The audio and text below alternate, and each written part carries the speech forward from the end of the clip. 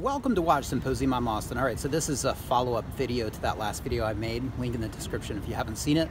I had my Explorer 2 on a NATO strap. I said I was going to change it. Well, not quite. It's still on a NATO strap, a different one. Um, here it is. What do you guys think of this strap? I'll give you guys some good footage at the end of this video, but I have to say, this is probably my favorite NATO strap. I think it works really well with this watch and with the sub as well. I love that that those white stripes and it's just uh, a little bit more classy than the US of A one. Um, I agree with a lot of the comments which range from you know pretty negative towards towards a NATO to it cheapens the watch to I prefer the bracelet. Absolutely, um, I prefer the bracelet 100%. Um, and yeah, it does cheapen the watch.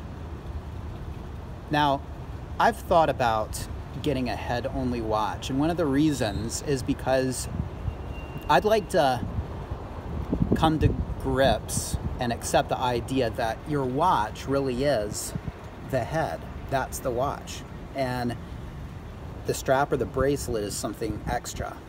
Um, but is that really the case with, say, a sub or a GMT or an Explorer 2? And it's really not because the bracelets are so much a part of it. I mean, they're they're not. You know, you can change the the bracelet, but why would you? Um, well, for me, it was just to get a little bit of a different look, a little bit of a different feel. Just something different for a little while, that's it. But there really is nothing as, as good as the actual bracelet it came with. And while the idea of getting a head-only watch with without the dedicated bracelet to sort of force me to come to grips with using other straps, um, I don't know if it's a good idea or not. Probably not, because knowing myself, it would it would bother me, and after a while, I would start trying to source a bracelet, which would be another expense and uh, defeat the purpose. And then I have a bracelet that goes with it, but that it wasn't born with, and it gets kind of weird. So uh, I'll probably never ever get a head-only watch. Um, but but I, I, probably will every now and then put this on. And um, I think it was Mr. McManus uh, said in, in, the end of his comment something like the fact that I put it, put this watch on a NATO means that it indicates that it's it's not my horological soulmate. I'd have to disagree there because I would do this with any watch, just about any watch. The, the exceptions would be if I had a non-holes case. I don't think I would risk it. You know, if you have the holes case, it's, it's an easy operation. And almost more importantly, you really know when, when you click those spring bars back into the holes. You can see it. But with a no holes case, you can't, and you have to kind of go on faith that it's there. And, you know, you can hear the click, but I've had my, I want to say my Orient Blue Mako where I thought I, I, I, th I thought I made that connection. I thought the spring bars were back in the holes properly, and then they popped off. And so uh, that would give me some unease. So I, I probably wouldn't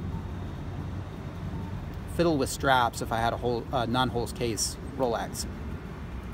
But pretty much any Rolex that has a holes case, I, I think I would do that with, whether, whether it's a, a Datejust and putting it on a leather strap or, or a GMT or whatnot. It's just, it's just, I don't think it's an indication that this is not my, my watch, you know, my, my horological soulmate, if you will.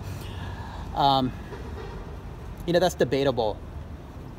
If I had, I mean, if somebody just were to say, hey, look, we're, we're every watch you have is going to disappear, except for one. You got to choose. Well, it would obviously be the GMT Master 2, um, partially because of the condition, the box, the papers, all that. But I I do like the GMT Master 2 a little bit more than this, just like a degree more. So in that sense, maybe uh, this isn't my horological soulmate, but it's it's it's up there. It's good enough. It's good enough, and and I can I can of course uh, use the GMT Master 2 uh, the way I like to use it, which is to hoard it. I'll make another video on that. I know I drive where Wearcar 54 crazy. He's like, put the damn thing on. Um, okay, hold. We'll, we'll adjust that in another video, where Wearcar. But um, but even the GMT Master 2, if that was my only watch and I was wearing it, I, I would still every now and then break out a, a, a NATO and a different strap. So it's just something we watch guys do. It's like getting your wife to put on a wig or, uh, you know, going to the Love Hotel and, and, you know, you can call the front desk and have them send up uh, different uniforms, uh, the, the schoolgirl uniform or the nurse uniform. Doesn't, doesn't mean you don't love your partner the way she is, but hey, sometimes uh, the stewardess look works, right? That's some Japanese culture for you right there. All right, so, um, okay, so anyway, um, why did I put this one on? Uh, well, I was actually, and, and this goes into why you might not want a NATO.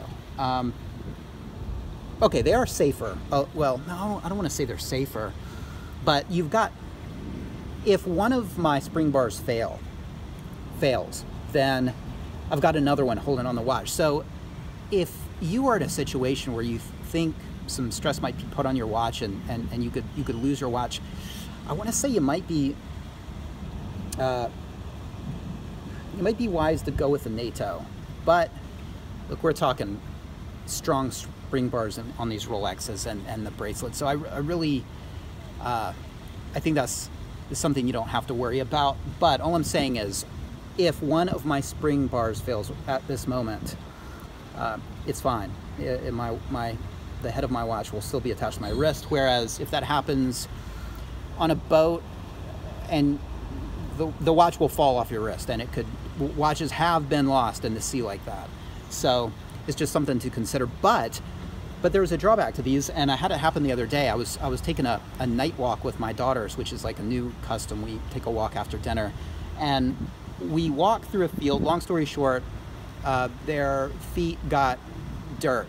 Uh, on them. And so we got home and I had to shower off their feet and I, I'm, you know, here I'm carrying both daughters so they don't, they don't dirty up the floor and I, and it, which, it just was a situation where I couldn't take my watch off and I'm showering them and inadvertently I got my, my arms wet and my NATO wet and there's nothing more uncomfortable than a wet NATO. So I took my watch off, I laid it down for a couple minutes and I thought I can't wait. I don't want to wait for it to dry. So I just put this NATO on and and um, yeah, I, will I'll put on the dedicated bracelet soon enough. But my whole point there is that NATOs get wet and and the dedicated bracelets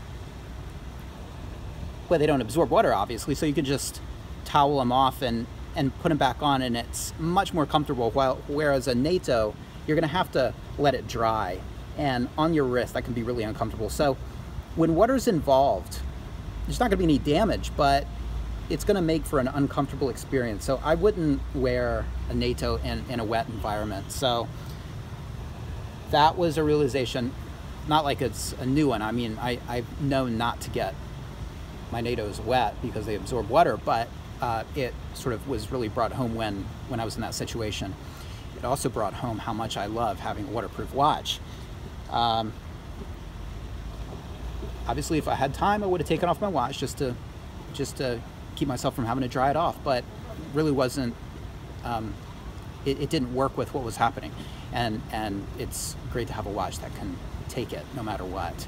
So, uh, love those oysters. Anyway, I'm with you guys. I'm not in the NATOs, uh, but sometimes, sometimes NATOs are one of those things. When you're rocking a NATO, it's much cooler than when you see a person rocking a NATO. Whenever I see a person rocking a NATO, I always think, where's the bracelet? Does it have a bracelet? I hope it has a bracelet. why did he change it? Is it just because it's comfortable? Does he does he not have a bracelet? It looks better with a bracelet. Uh, no matter what, I always think a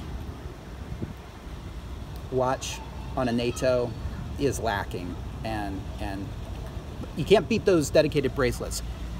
Hey, if I want to switch the bracelets up with us, I need to get that Jubilee. I've been dragging my feet on that. It's I've been putting that off for a long time, but it's going to have to happen soon. All right, I've got to have to talk myself into it. The Jubilee for the GMT, but I'm going to use it on this, and that's going to give me the Oyster and the Jubilee to go back and forth, and that's, boy, I'll never look back at the NATOs when I do that. Well, I probably will. But anyway, take care. Thanks for watching. See you next time.